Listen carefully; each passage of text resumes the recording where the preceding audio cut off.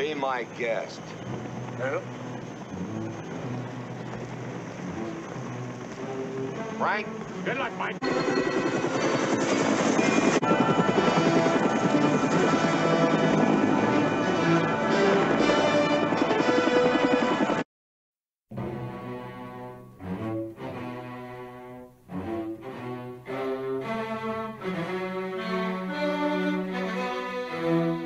thank you